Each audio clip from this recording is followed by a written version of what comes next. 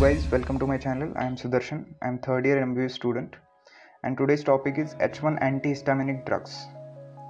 So what are the questions that are asked in your exam regarding H1 antihistaminics? First of all, they will ask you the definition, mechanism of action, classification and adverse effect and uses of H1 antihistaminic drugs. So we will go one by one. In this video, I have covered all these points uh, in just two pages and uh, I will give you the tricks to remember these points very easily. So let's start. First of all, definition the drugs that antagonize the effects of histamine by competitively blocking the H1 receptors. This is called as H1 antihistaminic drugs. Next is mechanism of action. In this case, uh, antihistaminic drugs act as antagonist and histamine act as agonist on the H1 receptors so antihistaminic drugs they will competitively blocks the effect of histamine on the H1 receptors. This phenomenon is called as competitive antagonism. Now classification. In classification, H1 antihistaminic drugs are divided into uh, first generation and second generation. So in first generation, there are three subtypes: highly sedative, moderately sedative, and mildly sedative drugs.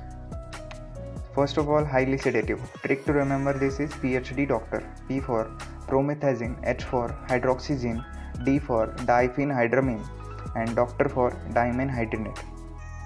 Now, moderately sedative. Trick to remember this is PCM. P for pheniramine, C for cinnarizine, and M for meclizine. Then mildly sedative.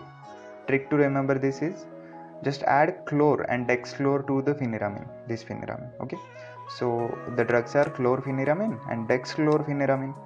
Next is second generation or non-sedative antihistaminic drugs. Trick to remember this drug is flake.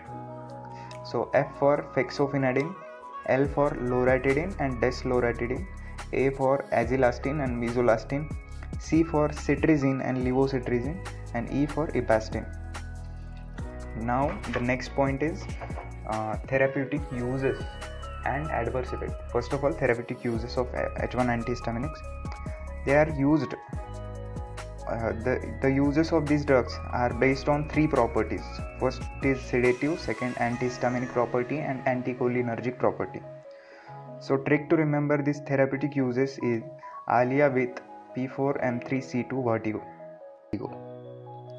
So, first of all, A for allergic diseases like itching, urticaria, fever. L for laryngeal angioedema. I for insect bite.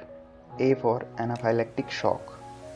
So, in case of laryngeal angioedema and anaphylactic shock, antihistaminics are used secondary to the adrenaline. So, in these cases, primary treatment is adrenaline injection. So, uh, secondary to that, antihistaminics are used.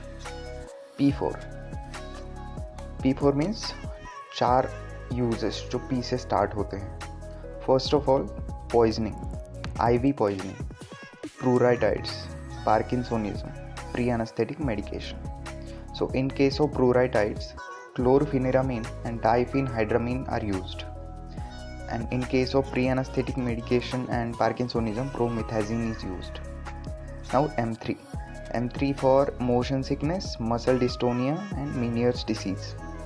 Motion in case of motion sickness, promethazine is used. It should be taken one hour before the starting uh, of the journey.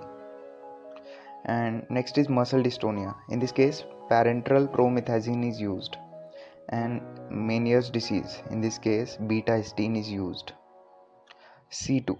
C first C for common cold, second C for cough in these cases also then chlorpheniramine diphenhydramines are used. Next is uh, vertigo. Last use is vertigo. Now we will see the adverse effect of h1 antihistaminic drugs. So side effects of first generation or h1 antihistaminics are frequent but generally they are mild. So trick to remember this adverse effect of h1 antihistaminics is my sad fruit.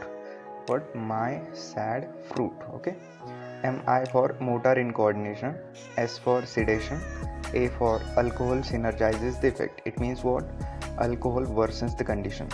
D for diminished alertness, F for fatigue, R for restlessness, U for unable to sleep, and I for impairment of psychomotor performance. This is the most important uh, adverse effect. Uh, in this case, uh, patient is cautioned to avoid motor driving. And last uh, use for T for tendency to fall asleep. So thank you for watching. Uh, if you like this video, do subscribe to my channel.